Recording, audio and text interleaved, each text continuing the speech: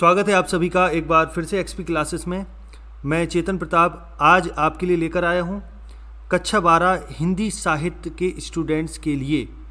बहुत ही महत्वपूर्ण वीडियो और इस वीडियो में मैं आपको इम्पोर्टेंट क्वेश्चंस जो हो सकते हैं जहाँ से फंसने की पूरी पूरी संभावना है, लगभग पूरी संभावना है, वो सारे क्वेश्चंस मैं यहाँ आपको डिस्कस करूँगा, बताऊँगा कहाँ से क्या इम्पोर्टेंट है तो ये वीडियो आपको पूरा देखना है कंप्लीट लास्ट तक, क्योंकि ये वीडियो आपके लिए बहुत ही इंपॉर्टेंट होने वाला है। तो यहाँ में चैप्टर वाइज किस चैप्टर से क्या इम्पोर्टेंट है, वो आप इस वीडियो में देख सकते हैं और उसको तैयार कर सकते हैं एग्ज़ाम के लिए। तो वीडियो को लास्ट तक पूरा देखना है कंप्लीट बीच में स्किप नहीं करना है। ठीक है? तो चलिए शुरू करते हैं और यदि आपने अभी तक एक्सपी क्लासेस ऐप को प्ले स्टोर से डाउनलोड नहीं किया है तो ज़रूर करें। वहाँ पर आपको पेड कोर्स मिल जाएँगे। जिनको परचेज करके आप अपनी तैयारी को और बेहतर कर सकते हैं। तो चलिए अब शुरू करते हैं। अब जो गद्य में है आपके, गद्य में जो चैप्टर हैं, वो टोटल आपके पाँच चैप्टर आने हैं, जैसे कि आप लोग जानते हैं। ठीक उन पाँच चैप्टर में जो आपका पहला चैप्टर है, जो गद्य के जो पाँच चैप्टर हैं, जिनमें आप पाँच नहीं, चार चैप्टर एक्चुअली में आने हैं। सही। तो जो चार में जो पहला चैप्टर है राष्ट्र का स्वरूप। उसमें से आपको गद्दांश में पूछा जाएगा कि एक गद्दांश दे दिया जाएगा, उसके अंतर्गत क्वेश्चंस के आंसर देने हैं। तो मैं यहाँ बताऊँगा कौन सा गद्दांश इम्पोर्टेंट है आपके लिए, ठीक? तो उनको समझिए। तो इस चैप्टर से भूमि पर बसने वाले, बसने वाला जन और जन की संस्कृति, ये वाला से ले, ये वाला पूरा गद्दांश बहुत ही मोस्ट है, अक्सर पूछा जाता है। तो इसके अंतर्गत ये क्वेश्चंस हैं। आप इन क्वेश्चंस को तैयार कर लीजिएगा। बहुत इंपॉर्टेंट क्वेश्चन है इसमें, ठीक? और इसी तरीके से क्वेश्चन आएँगे। अक्सर रेखांकित अंश की व्याख्या बोली जाती है तो रेखांकित अंश की व्याख्या आपको लिखनी होगी। रेखांकित अंश ये कहलाता है, जो अंडरलाइन है, ठीक? अब इसी चैप्टर में और कौन सा है जो इम्पोर्टेंट है? तो मातृभूमि पर निवास करने वाले मनुष्य राष्ट्र का दूसरा अंग है। यहाँ से लेके राष्ट्र निर्माण के अंकुर उत्पन्न होते हैं। तो इसके अंतर्गत ये क्वेश्चन है, ये इम्पोर्टेंट है, ठीक? तो ये आप इसमें तैयार कीजिएगा। अब इसके बाद इसी चैप्टर में जन का प्रवाह अनंत होता है, ये पद, ये गद बहुत पूछा जाता है। ठीक? ये कहा तक है? अनेक घाटों का निर्माण करना होता है। तो इसके अंतर्गत ये क्वेश्चन है। ध्यान दें इसको। आगे देखें। अब इसके बाद इसी चैप्टर में राष्ट्र का तीसरा अंग जन की संस्कृति है।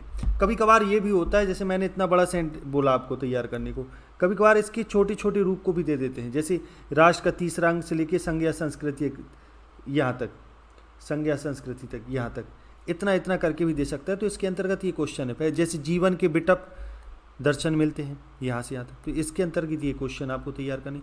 तो क्वेश्चंस को रटना नहीं है, केवल समझना है। अच्छे से, बहुत आसान है। अगर आप इनको अच्छे से पढ़ोगे और ये राष्ट्र का स्वरूप चैनल में पड़ा है। चैप्टर आप डालेंगे एक्सपी क्लासेस डालेंगे, पीछे सर्च करेंगे, मिल जाएगा आपको। ठीक, आगे देखें। अब इसी में एक और है साहित्य, कला, नृत्य से लेकर राष्ट्र के लिए स्वास्थ्य कर इसके अंतर्गत क्वेश्चन ये हैं, ये भी इम्पोर्टेंट है बहुत। ठीक, अब आगे बढ़ते हैं। अब ये बहुत, ये भी पूछा जाता है बहुत। धरती माता की कोख में जो अमूल्य निधियाँ भरी पड़ी हैं, यहाँ से लेके कहाँ तक? आवश्यक है तक। देखो, इनको पढ़ना नहीं है। आप कहोगे कि, सर, आप तो बहुत सारे दे रहे हैं। तो समझो ज़रा, ये आप, इनको रटना नहीं है, बल्कि इन्हों, इनको समझना है। अगर आपने अच्छे समझ लिया, चैप्टर आप पढ़ेंगे, चैनल में पढ़ा है, अगर देखेंगे उससे फिर क्वेश्चन करने बैठेंगे तो बहुत ईजिली आराम से आपको आ जाएगा। तो मैंने मोस्ट मोस्ट बता दिया, इन पर विशेष फोकस करना है। वैसे तो आप चाहें तो विशेष रूप से पूरे चैप्टर को अच्छे से पढ़ना है एक बार, लेकिन फोकस इन पर ज़्यादा करना है, ठीक? तो इसके अंतर्गत ये क्वेश्चन है। अब आते हैं, इसके बाद एक जो इस इस चैप्टर के अंदर लास्ट है, ये बहुत पूछा जाता है। यह परिणाम भाव ही भूमि और जन का दृढ़ बंधन है। यहाँ से लेके वह एक निष्कारण धर्म है। इसके अंतर्गत ये क्वेश्चन है, ठीक? अब इसके बाद करते हैं अशोक के फूल। तो अशोक के फूल में क्या इंपॉर्टेंट है? तो पहला ये बहुत पूछा जाता है भारतीय साहित्य में और इसलिए भी, क्योंकि इसमें ये तय नहीं कर पाता है स्टूडेंट कि कहाँ से एक्चुअली है, कि कई बार कन्फ्यूज़न हो जाता है तो इसमें कई ऐसे वर्ड्स हैं जो इसका, जिससे पता चलता है कि अशोक के फूल से लिया गया है। हज़ार, आचार्य हजारी प्रसाद द्विवेदी की रचना है ये, ठीक? तो इसके अंतर्गत ये क्वेश्चन है, ध्यान दीजिएगा। अब इसके बाद अगला इसमें कौन सा इंपॉर्टेंट है इस चैप्टर में? तो मुझे मानव की दुर्दम, निर्मम धारा के हज़ारों वर्षों का रूप साफ़ दिखाई दे रहा है, ये वाला बहुत आता है, ठीक? तो इसको लास्ट तक है, हजम करने के बाद भी पवित्र। तो इसके अंतर्गत ये क्वेश्चन है। देखो बेटा, ये क्वेश्चंस को आपको रटना नहीं है जो ये क्वेश्चन है। आप पैसेज को पढ़ोगे क्वेश्चन का आंसर खोजने की कोशिश करोगे, आपको 100 परसेंट बनेगा, बहुत अच्छे से बनेगा, कोई इसमें दोहराया नहीं है, ठीक है? आगे देखें इसके बाद अशोक को जो समान, सम्मान, कालिदास से मिला है यहाँ से लेके कंधों पर से ही फूट उठता था, यहाँ तक। बहुत इंपॉर्टेंट है ये। इसके ये क्वेश्चन है, ध्यान दीजिएगा। अब इसके बाद अगला जो चैप्टर है, अगला जो इसमें है गद्य में, अशोक का वृक्ष जितना भी मनोहर है, जितना भी रहस्यमय हो, जितना भी अलंकारमय हो, परंतु वह उस विशाल सामंत सभ्यता की सभ्यता की परिष्कृत रुचि का ही प्रतीक है। ये बहुत मोस्ट है इसका। फिर इसके बाद ये लास्ट तक मदनोत्सव की धूमधाम भी मिट गई। और इसके अंतर्गत ये क्वेश्चन देखो बेटा, इतने सारे क्वेश्चन नहीं आएँगे, ध्यान रखना। आप सोचो कि इतने सारे इसमें क्वेश्चन दिए, पूरे आ जाएँगे। नहीं। कुछ क्वेश्चन आएँगे। तो इस पद, इस गद्य के अंतर्गत, इस पैराग्राफ के अंतर्गत जो क्वेश्चन बन सकते हैं, वो उसमें सारे दिए। आपको सारे समझना है, तैयार करना है। अब भाषा और आधुनिकता। प्रोफेसर जी सुंदर रेड्डी। ठीक? भाषा और आधुनिकता। प्रोफेसर जी सुंदर रेड्डी। इसके, इनमें ये वाला पैसेज बहुत आता है, रमणीयता और नित्य नूतनता अन्योनाश्रित है। ये से लेके एक सतत माध्यम तक। इसके अंतर्गत ये क्वेश्चन है। ठीक है? और फिर इसके बाद दूसरा है जो बहुत आता है, भाषा की एक साधारण इकाई शब्द है। यहाँ से लेके आवश्यकता प्रतीत होती है तक। इसके अंतर्गत ये क्वेश्चन है। आगे देखें।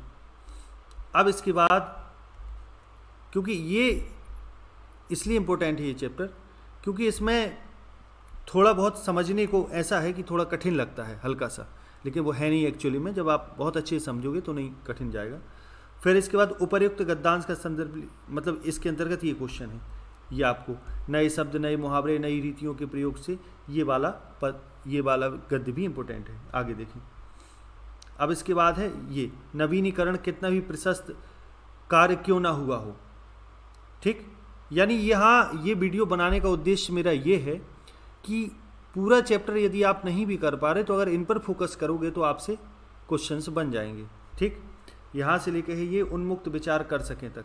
तो इसके अंतर्गत क्वेश्चंस हालाँकि मैंने नहीं दिए, लेकिन आप इसको तैयार करोगे तो जो भी क्वेश्चन आएँगे, वो आपसे बन जाएँगे। इसके बाद है अगला जो चैप्टर है, हम और हमारा आदर्श, तेजस्वी मन के संपादित अंश। ये doctor A P Abdul Kalam की बुक तेजस्वी मन से संपादित है।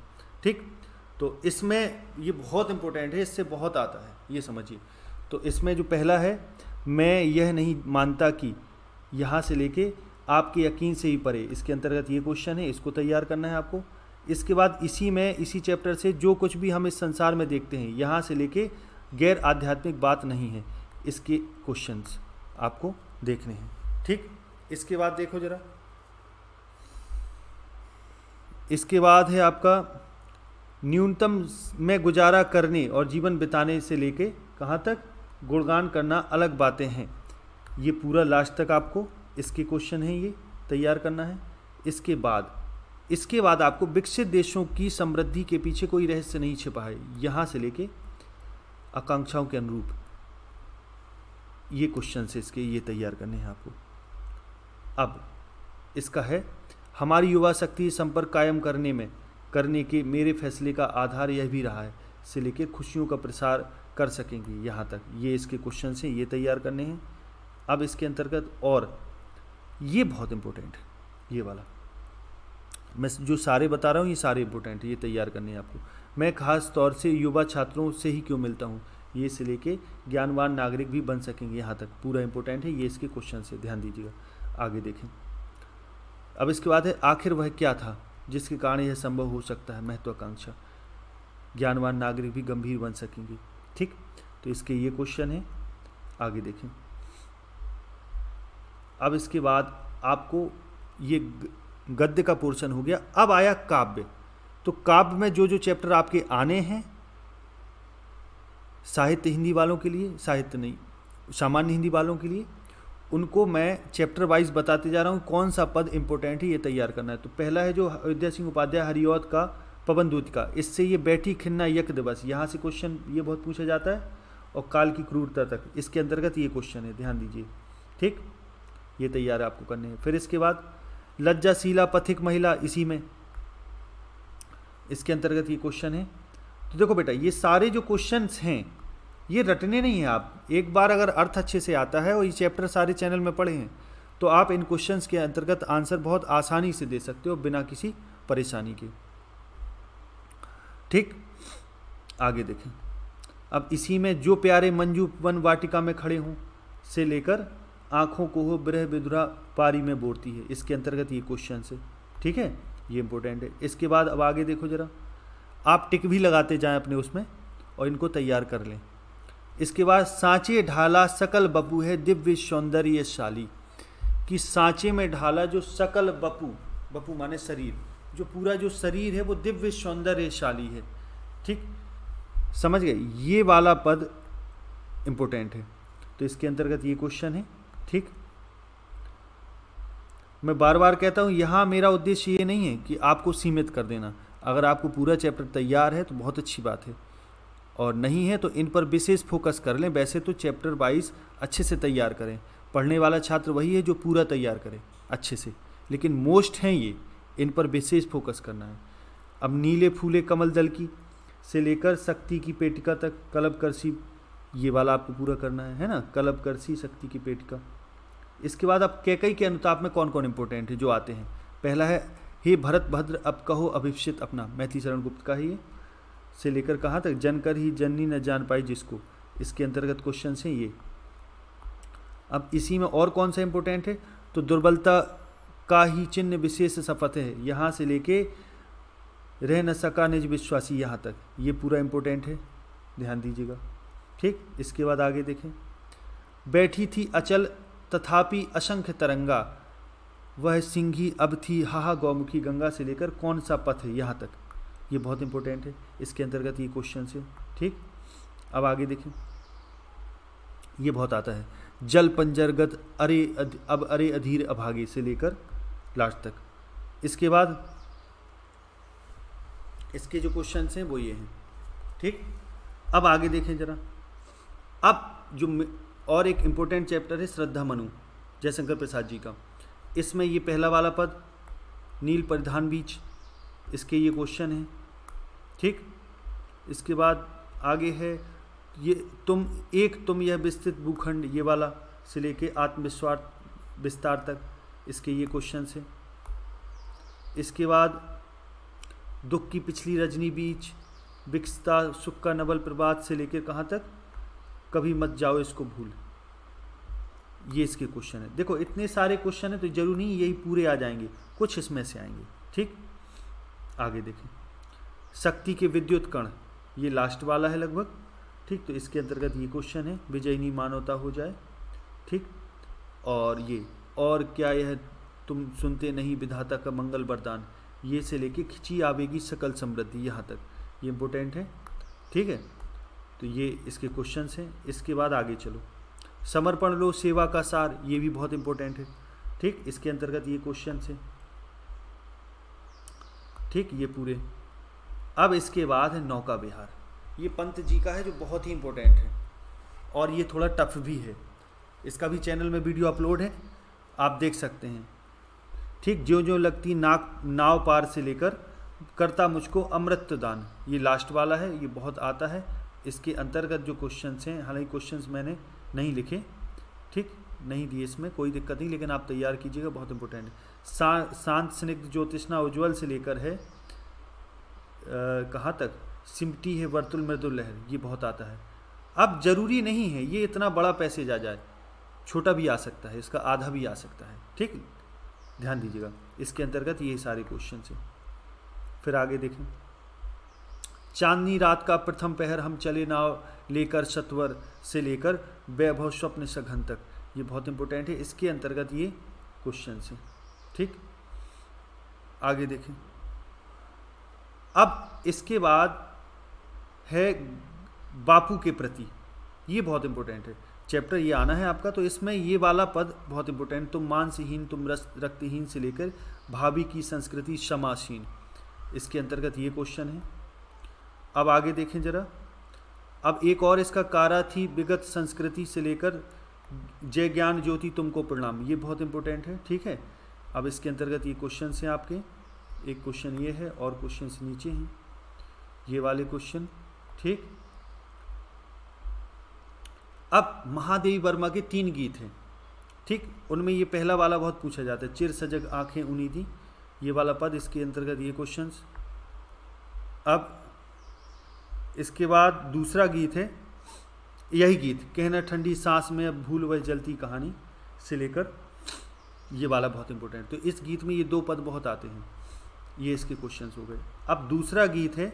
दूसरे गीत में जो पहला ही पद है पंथ होने दो, अपरिचित प्राण रहने दो अकेला, सतविद्य तो मैं दीप खेला। ये बहुत इंपॉर्टेंट है। इसके अंतर्गत ये सारे क्वेश्चंस अब आ जाओ तीसरा गीत, मैं नीर भरी दुख की बदली इसका जो पहला है, ठीक? पद, वो बहुत इंपॉर्टेंट है। ये इसके क्वेश्चन से इसके बाद इसके बाद दिनकर जी का अभिनव मनुष्य। ये बहुत अच्छा है, ये चैप्टर भी मैं करा चुका हूँ। सारे गद्य काप संस्कृत पूरा है लगभग चैनल में। तो यह लघु ग्रह भूमि मंडल व्योम यह संकीर्ण से लेके ज्ञान का विज्ञान का आलोक का आकार। तो इसके अंतर्गत ये क्वेश्चंस ठीक? अब ज़रूरी नहीं है क्वेश्चन आप यही ना सोच के जाएँगे यही क्वेश्चन आएँगे इसके अंतर्गत। हो सकता अपने आप से ही बना के दे दे, लेकिन यदि अर्थ हमें आता है निकालना और तैयार है तो हम पूरा कर सकते ठीक? आगे देखें इसके बाद दूसरा है सावधान मनुष्य, ये अंतिम पद है इस चैप्टर का, ठीक? तो ये ये बहुत इंपॉर्टेंट है। फिर इसके बाद है सच्चिदानंद हीरानंद वात्स्यायन अज्ञे, जी का जो हिरोशिमा है, इसमें जी पहला वाला जो है, पहला नहीं है, बीच का है, छाना, छायाएँ मानव जनकी से लेकर दृश्य शोक लेने वाली दोपहरी, इसके अंतर्गत ये क्वेश्चन है, ठीक? अब इसमें और देखें मानव का रचा हुआ सूरज से लेकर मानव की साखी, ये अंतिम पद है। तो इसके अंतर्गत ये क्वेश्चन है आपके, ठीक? और इसके अंतर्गत क्वेश्चन ये हैं, ठीक? आगे देखें। अब आ जाओ संस्कृत में। तो संस्कृत में जो जो चैप्टर आने हैं, उनके मैंने इंपॉर्टेंट क्वेश्चंस ले रखे हैं। अब संस्कृत में आपका, संस्कृत में क्या होता है, जब जो चैप्टर का हमें अर्थ लिखना होता है, जैसे चैप्टर होता है ना, माने उसका हिंदी में आपको अनुवाद करना पड़ता है। संस्कृत का जो पैरा दिया होता है, उसका अनुवाद करना पड़ता है। तो उसके अंतर्गत दो पोर्शन आते हैं। एक आता है गद्य पोर्शन, एक आता है काव्य पोर्शन। ठीक? तो काव्य पोर्शन में तो जो आपका सुभाषित रत्नानी चैप्टर है, वो आप पूरा तैयार कीजिएगा। ठीक? उसमें से ज़रूर फंसेगा। अथवा में आता है, और इसके अलावा जितने चैप्टर में श्लोक दिए हैं, जैसे एक महामना मालवी में श्लोक दिया है जयंती ते महाभागा, और एक दिया है जातक कथा में श्लोक।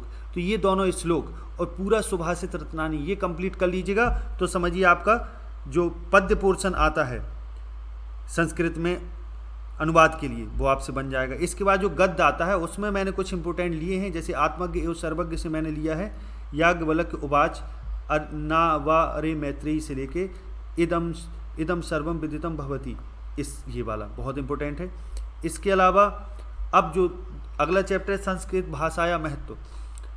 इसमें क्या इंपॉर्टेंट है? इसमें इंपॉर्टेंट है, धन्यो एयम भारत देशा से लेके संस्कृतम नाम देवी वागन वाख्याता महर्षि भी ये इंपॉर्टेंट है। तो इनकी व्याख इनकी व्याख्या नहीं, इनका अनुवाद बहुत अच्छे से तैयार करना है। इसके बाद संस्कृत संस्कृत साहित्य से लेकर आदि कवि वाल्मीकि महर्षि महर्षि व्यासा, कवि कुलगुरु, कालिदासा, अन्य से लेके भारत मातु स्वा, ये और है अभी नीचे। ये है गिरवाण भारती इति तक। ये बहुत इंपॉर्टेंट है। अब इसके बाद जो अगला चैप्टर है, जातक कथा। जातक कथा में आपका वैसे तो इसमें एक श्लोक है। नामे रोचतम भद्रम। वो श्लोक पूरा तैयार कर लीजिएगा, फंसने का चांस होता है। उलूक जातकम में पहला ये, बहुत इंपॉर्टेंट है, अतीत प्रथम कल्पी, ये अक्सर आता है। और इसके अलावा मैंने इसमें यही केवल लिया हुआ है क्योंकि यही अक्सर पूछा जाता है। ठीक? आगे देखें। महामना मालवीय इस चैप्टर ये चैप्टर बहुत इंपॉर्टेंट है। ठीक? तो पूरे चैप्टर मेरे हिसाब से तैयार कीजिएगा इसका आप।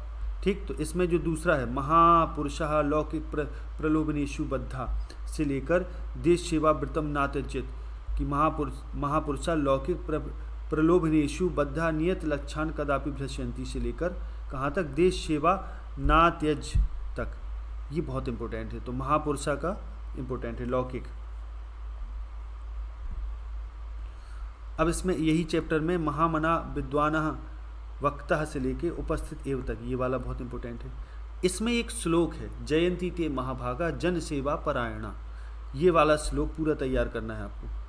अब इसके बाद पंचशील सिद्धांत में क्या इंपॉर्टेंट है? देखें तो पंचशील सिद्धांत में आपका बौद्ध युग ये वाला बहुत आता है, एवं चा व्यवस्था। कभी कभार ये जैसे मैंने इतना बड़ा पूरा दे दिया, हो सकता है यहाँ तक पूछ ले, और हो सकता यहाँ से लेके यहाँ तक दे दे, ये भी हो सकता है, ठीक? आगे देखें। अब ये हो गया। अब इसके अलावा इसके अलावा क्या इंपॉर्टेंट है उसको समझो। इसके अलावा गद्य से जीवनी आती है। अब जब गद्य में जीवनी आती है तो कभी साहित्यिक पर्चे पूछ लेते हैं या साहित्यिक योगदान पूछ लेते हैं या जीवन पर्चे पूछ लेते हैं। तो आपके जो चार पाँच चैप्टर हैं, उनमें से क्या इंपॉर्टेंट है? तो मेरे हिसाब से तो ये तीन इंपॉर्टेंट हैं। इनको आप कर लीजिएगा। वासुदेव शरण अग्रवाल बहुत इंपॉर्टेंट है हजारी प्रसाद द्विवेदी और doctor A P J Abdul Kalam तो बहुत ही ज़्यादा। तो वैसे ये तीनों आप तैयार कर लेंगे तो फंस जाएगा आपको, ठीक? इसके बाद पद्य में जीवनी भी पूछ सकता है, साहित्यिक परिचय भी कभी का पूछ सकता है और साथ ही साथ रचनाओं का भी उल्लेख करने को पूछता है गद्य पद्य में लेखकों के साथ। ठीक तो इसमें मैं सबसे ज़्यादा इम्पोर्टेंट पहली चीज़ तो महादेवी वर्मा को करूँगा। क्यों? क्योंकि एकमात्र लेडी है जो है मतलब आपके सिलेबस में। तो ये तो हो चाँद से बहुत ज़्यादा नहीं की। इसके अलावा अयोध्या सिंह उपाध्याय हरिऔध बहुत इंपॉर्टेंट आते ही हैं, रामधारी सिंह दिन का मैथी शरण गुप्त और साथ में जयशंकर प्रसाद भी हैं। लेकिन आप चार कर लेंगे तो हो जाएगा उतने में कल्याण। ठीक? अब अब इसके अलावा, अब इसके अलावा थोड़ा डिस्कस करते हैं इसको। तो समझे जरा। अब इसके अलावा इसमें क्या डिस्कस करना है? अब बहुत सारी चीज़ें हैं जो अन्य हैं, जो आती हैं। ठीक? जो अन्य हैं, बहुत सारी चीज़ें जो आती हैं। पहली, सबसे पहली चीज़, जो आपका गद्य से गद्य से भी आता है और पद्य से भी आता है। यानी गद्य से और पद्य से। एक एक नंबर की रचनाएँ पूछी जाती हैं और उनसे संबंधित क्वेश्चन पूछे जाता है जो पाँच पाँच नंबर, पाँच गद्य से पाँच काव्य से होता है। यानी दस नंबर का ये पोर्शन होता है। ये आपको बराबर इसकी तैयारी चल रही है एक्सपी क्लासेस में। वो आप तैयार करें वहाँ से। ठीक? इसके अलावा आप और अगर आगे बढ़ते हैं तो और क्या क्या आता है जो आपके लिए इम्पोर्टेंट है, उस पर डिस्कस कर लेते हैं। ठीक? पहले तो ये समझिए, कहानी आती है। कहानी के माध्यम से कथानक लिखने को बोलता है। तो कहानी में आप पंचलाइट और बहादुर। ये दोनों तैयार कर लें पर्याप्त है मेरे हिसाब से। ठीक? ठीक है इसके बाद इसके बाद जो है वो खंड काव्य आता है। तो खंड काव्य में क्या है किसी के यहाँ होता है र, आ, रश्मि रथी किसी के यहाँ मुक्ति युग मुक्ति यज्ञ किसी के यहाँ श्रवण कुमार सत्य की जीत ये अलग अलग होता है। तो इसमें क्या होता है उसके कभी कभार खंड काव्य के आधार पर जो नायक होता है उसका चरित्र चित्रण पूछ लेता है। या कथानक का विवरण या उसका महत्व पूछ लेता है, या सारांश पूछ लेता है कथा वस्तु पूछ लेता है है ना? तो वो आपको तो इसमें क्या करना है? जो आपके यहाँ आता हो, वो तैयार करना है, ठीक? फिर संस्कृत का पोर्शन में बता ही चुका हूँ आपको, ठीक?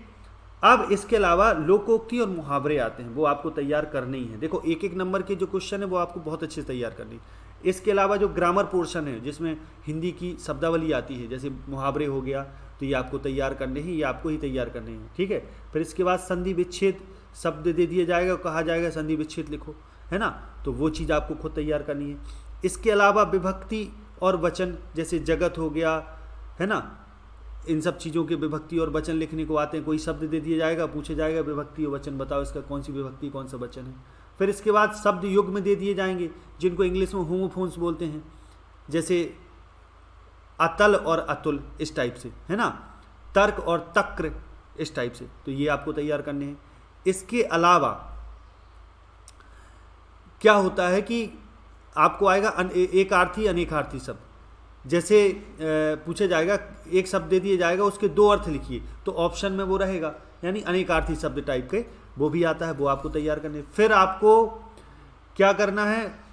जो इंग्लिश में जिसको वन वर्ड सब्ट्यूशन बोलते हैं, यानी अनेक शब्दों के लिए एक शब्द, वो आपको तैयार करने हैं। फिर इसके बाद आपको एक सेंटेंस दे दिया जाएगा और कहा जाएगा इसको सही, इसको सिलेक्ट करके बताओ कि कौन सा सेंटेंस सही इसको लिखा है। कैसे इसको मतलब सही लिखा जाएगा, वो आपसे पूछा जाएगा। ठीक है? फिर इसके बाद आपको, फिर इसके बाद क्या आएगा? इसके बाद आपसे फिर रस वगैरह आएँगे। ठीक? तो रस में आप जैसे हास्य रस हो गया, करुण रस हो गया, है ना? ये रस तैयार कर लीजिएगा अच्छे से। फिर इसके बाद और जो चीज़ आती हैं, रस हो गया, अलंकार हो गए, है ना? तो अलंकार में आप अपना देख लीजिएगा, कम से कम तीन चार अलंकार, जैसे यमक हो गया, श्लेष हो गया, अनुप्रास, उपमा, ये कर लीजिएगा कंप्लीट तो इससे हो जाएगा। अब क्या होता है कि कुछ विशेष पत्र आते हैं, है ना? जो एक क्वेश्चन पत्र भी आता है, एप्लीकेशन भी आता है है ना? तो उसमें क्या करना है? उसमें जो महत्वपूर्ण आपको लगे। वैसे तो अब यहाँ नहीं बताया जा सकता कि कितने महत्वपूर्ण हैं कौन कौन से हो सकते हैं, लेकिन दो चार टाइप के आप पत्रों को सिलेक्ट कर सकते हैं जो आपको इम्पोर्टेंट लगे। या आपको बताए गए हों कि ये इम्पोर्टेंट हो सकते हैं, या मॉडल पेपर में जिस तरीके इम्पोर्टेंट हो, वैसे कम से कम पाँच पाँच पत्र। पाँच एप्लीकेशन पाँच पत्र आप अच्छे से देख आइएगा, उनका पैटर्न देख लीजिएगा। बाकी पत्र देखो, पत्र में क्या होता है कि जो चीज़ें, पत्र एप्लीकेशन जो चीज़ पूछी जा रही है, वो सामने है। बस उसको बैलेंस करना, हमें लिखने के तरीका पता हो, वो हम लिख लेते हैं। तो वो चीज़ आती है। फिर इसके बाद आता है आपका निबंध। अब निबंध पर बड़ा थोड़ा भ्रम है। निबंध पर भ्रम यह है कि निबंध का सिलेबस तय नहीं है कि निबंध कहाँ से दे दिया जाए। कोई तय नहीं है। तो उसके लिए क्या ज़रूरी है? तो निबंध के प्रकार होते हैं। कई प्रकार के निबंध आते हैं, जैसे साहित्य, साहित्यिक निबंध हो गए, विज्ञान से रिलेटेड निबंध हो गए, समाज से संबंधित, समाज की समस्याओं संबंधित निबंध हो गए, है ना? और राजनीति संबंधित निबंध हो गए, है ना? निबंध हो गए। तो ये जो समस्याएँ हैं, जो टॉपिक हैं, इन टॉपिक पर आते हैं निबंध। तो उन हर एक टॉपिक से चार चार, पाँच पाँच निबंध के आप, निबंध को आप तैयार करें। लेकिन अब तैयार करने का अर्थ ये है कि आपका कोई सर रटना है, रटना नहीं है। उसको अपन को करना क्या है कि पढ़ना है और बाकी उनकी हेडिंग को दिमाग में रख लेना है। जो मेन मेन पाँच दस आपने निबंध अगर कर लिए तो उनकी हेडिंग को दिमाग में रखना है। बाकी फिर जो हो पेपर में कौन सा है कह नहीं सकते क्लियर नहीं होता है कोई चीज़। ठीक? तो जो मेन मेन आप पढ़ो, उनकी हेडिंग ज़रूर दिमाग में रखो। ठीक?